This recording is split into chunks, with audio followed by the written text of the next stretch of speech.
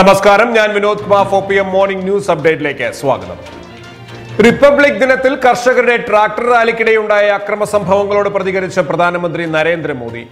ചെങ്കോട്ടയിലെ സംഘർഷങ്ങൾ തന്നെ വേദനിപ്പിച്ചുവെന്നും പ്രതിമാസ റേഡിയോ പ്രഭാഷണ പരിപാടിയായ മൻ കി ബാത്തിൽ പ്രധാനമന്ത്രി പറഞ്ഞു.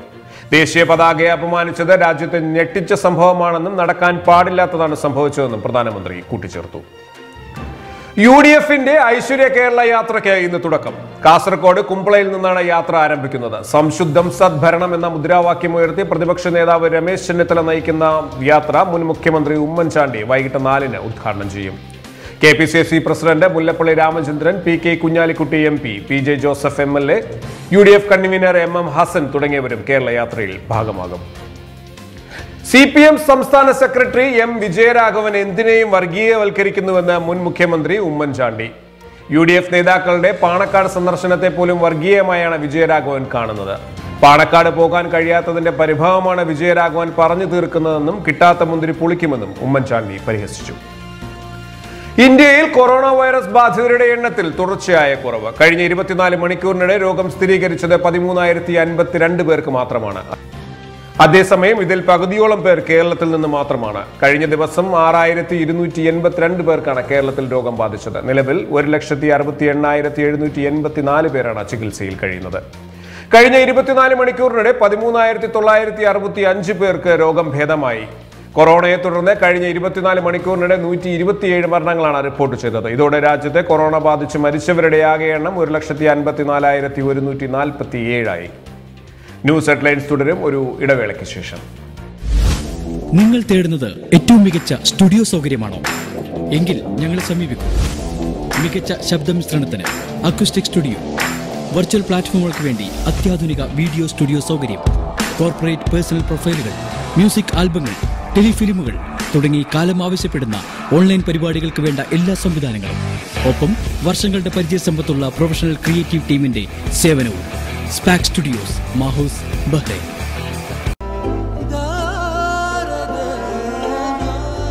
വിഷമിക്കണ്ട എല്ലാം ശരിയാവും ലുലു മണി സംസ്ഥാനത്ത് അഞ്ചു വയസ്സിന് താഴെയുള്ള കുട്ടികൾക്ക് പൾസ് പോളിയോ തുള്ളിമരുന്ന് വിതരണം ആരംഭിച്ചു.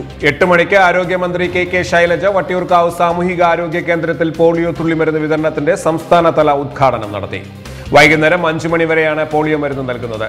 ഇരുപത്തിനാല് ലക്ഷത്തി നാൽപ്പത്തി ഒൻപതിനായിരത്തി ഇരുന്നൂറ്റി ഇരുപത്തിരണ്ട് കുട്ടികൾക്കാണ് പോളിയോ നൽകുന്നത്. കൊറോണ പോസിറ്റീവ് ആയതോ ക്വാറന്റൈനിലായതോ ആയ കുട്ടികൾക്ക് അവരുടെ ക്വാറന്റൈൻ പീരീഡ് കഴിയുമ്പോൾ ആരോഗ്യ പ്രവർത്തകർ വീട്ടിലെത്തി പോളിയോ തുള്ളിമരുന്ന് നൽകും. പാലാരിവട്ടം പാലം തകർച്ചയിൽ നഷ്ടപരിഹാരം തേടി സംസ്ഥാന സർക്കാർ. പാലം പുതുക്കി പണിതതിന്റെ ചെലവ് ആവശ്യപ്പെട്ട് ആർ ഡി എസ് കമ്പനിക്ക് സർക്കാർ നോട്ടീസ് നൽകി. കരാർ കമ്പനി ഇരുപത്തിനാല് ദശാംശം അഞ്ച് രണ്ട് കോടി രൂപ നഷ്ടപരിഹാരം നൽകണമെന്നാണ് ആവശ്യം. പാലം കൃത്യമായി നിർമ്മിക്കുന്നതിൽ കമ്പനി വീഴ്ച പറ്റിയെന്നും പാലത്തിന്റെ പുനർനിർമ്മാണം സർക്കാരിന് വൻ ബാധ്യതയാണ് ഉണ്ടാക്കിയതെന്നും ഈ നഷ്ടം നൽകാൻ കമ്പനിക്ക് ബാധ്യതയുണ്ടെന്നും സർക്കാർ നോട്ടീസിൽ പറയുന്നു. കൊച്ചിയിൽ വൻ ലഹരി മരുന്ന് വേട്ടയിൽ മൂന്ന് പേർ പിടിയിലായി. കാസർഗോഡ് സ്വദേശി അജ്മൽ സമീർ ആര്യ എന്നിവരാണ് പിടിയിലായത്. ഇവരിൽ നിന്നും M D M A hashish കഞ്ചാവ് എന്നിവ പിടിച്ചെടുത്തു. കൊച്ചി സിറ്റി പോലീസ് കമ്മീഷണറേറ്റ് നടപ്പിലാക്കിയ യോദ്ധ എന്ന രഹസ്യ വാട്സപ്പിൽ കമ്മീഷണർ നാഗരാജു ഐ പി എസിന് ലഭിച്ച വിവരത്തിന്റെ അടിസ്ഥാനത്തിലാണ് സൗത്ത് നേറ്റേപ്പാടം റോഡിലുള്ള ഫ്ളാറ്റിൽ നിന്നും ലഹരിമരുന്ന് പിടിച്ചെടുത്തത്.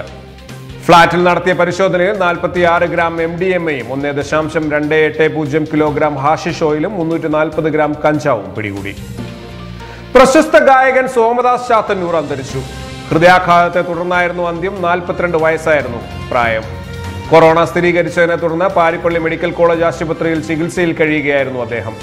കഴിഞ്ഞ ദിവസം ഇദ്ദേഹം കൊറോണയിൽ നിന്നും രോഗമുക്തി നേടിയിരുന്നു. വാർഡിലേക്ക് മാറ്റാനിരിക്കെയായിരുന്നു മരണം സംഭവിച്ചത്. Idea Star Singer Big Boss എന്നീ റിയാലിറ്റി ഷോകളിൽ അദ്ദേഹം പങ്കെടുത്തിട്ടുണ്ട്. സിനിമയിൽ കൂടുതൽ അവസരങ്ങൾ ലഭിച്ചെങ്കിലും ഗാനമേളയിലൂടെയും സ്റ്റേജ് ഷോയിലൂടെയും സോമദാസ് ശ്രദ്ധേയനായിരുന്നു. ഇതോടെ ഇന്നത്തെ four P M morning news update അവസാനിക്കുന്നു. നന്ദി നമസ്കാരം.